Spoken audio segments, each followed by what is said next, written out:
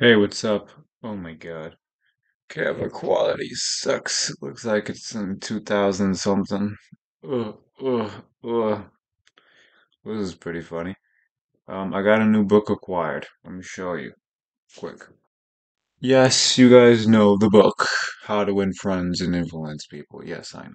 I was trying to read it and someone gave it to me. They gave it to me as a gift. So this giving a book as a gift is one of the most powerful and honestly the most wholesome type of gift. If that if you know that the other person is actually going to read it or is actually interested in said topic.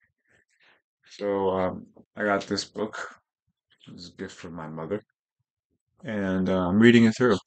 It's um, volar sobre el pantano um, flying over the swamp it's a book about i would just call it um, self-development and self-help book but in form of a story.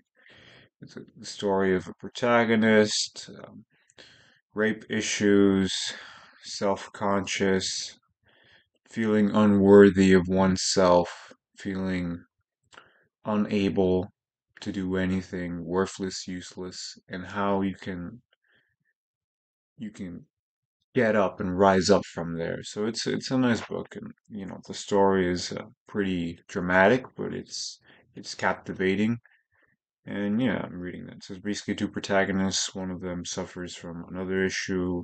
Both of them are like in really shitty situations where both of them talk to each other and really help dialogue how they got through this. So yeah, it's it's really good. So I'm gonna read a little bit more because I have three things I do every day, and today I did not do any of those three things because I was so busy working.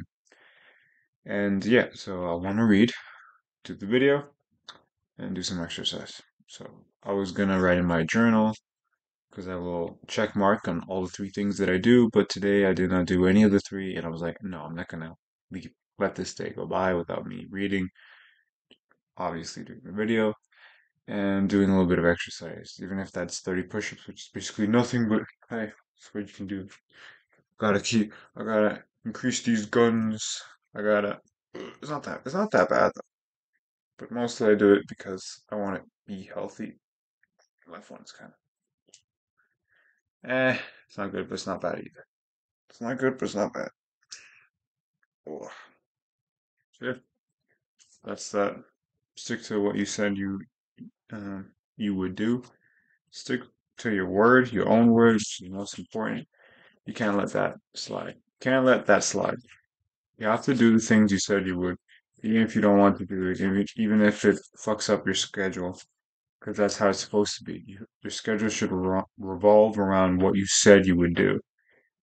And yeah, all right. That's basically it. Hope you guys have a wonderful night.